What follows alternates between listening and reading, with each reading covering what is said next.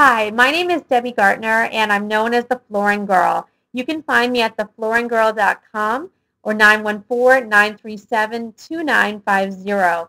Today I'm going to answer the question about whether or not you can change the color of your hardwood floors. The good news is the answer is usually yes. This of course assumes that you have solid hardwood floors.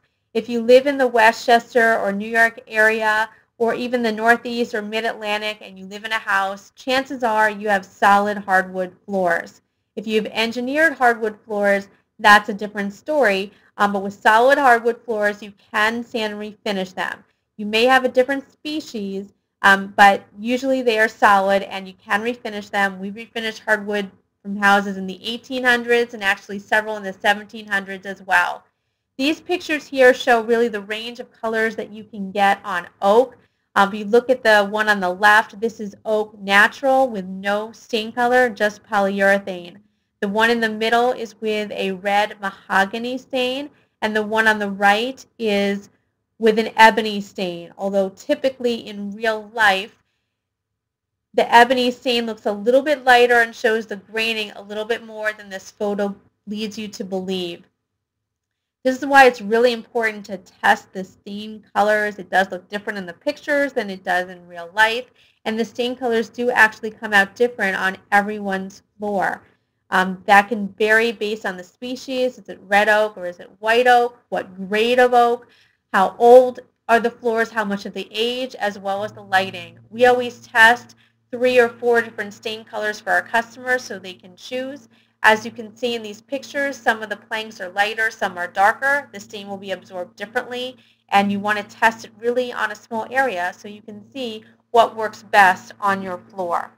Please note that the only way to change the color is to actually sand the floors all the way down when you sand them three times finer and finer grits, it is raw hardwood, but that's the only way to have the stain properly penetrate into the floor. If you try to do it on top of what you have now, it will peel off. Now, if you have some other species, the colors will look different. In particular, if you have Brazilian cherry or Brazilian walnut or some of the exotic hardwoods, those start out darker and many of them have a red tone, natural tone underneath. So those you really can't make lighter than they are. If you look at the one on the right, that is Brazilian cherry. There is no stain on it, just polyurethane. If you sand and refinish it, it will look a little bit lighter than this just from the sanding, but over time, due to the light and the natural aging process, it will look just as this floor does right now. The one on the left is Brazilian walnut, and obviously that's a darker and darker brown. You can make these floors darker, but you really can't make them lighter.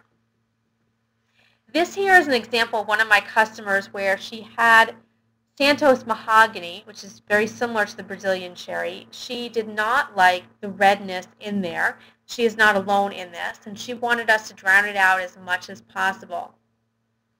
So we tested out some darker stains, and as you can see from the picture on the right, even though it's not the best picture, this is the end result. We tested a few different stains and found that on her floors, dark walnut came out the darkest. This is kind of ironic because Jacobean and ebony are darker stains, but they are absorbed differently in each wood, and in this case, the darker walnut looked darker. This does a good job of drowning out the red, but there still are some underlying red tones in there if you look close enough. This looks more like a royal mahogany stain, but this is really, you know, the best that you can do to try to drown this out. This next picture shows oak floors with a Jacobean stain. Jacobean is the second darkest. Ebony is the darkest. We will sometimes do a 50-50 blend of Jacobean and ebony for our customers, um, which gives an espresso color, looks very nice and rich. If you do live in the Westchester area, um, feel free to give us a call. My name is Debbie. You can find me at theflooringgirl.com. You can reach us at 914-937-2950. We bring the store to your door, and my estimates are uh, free of charge. I look forward to meeting you. Thank you.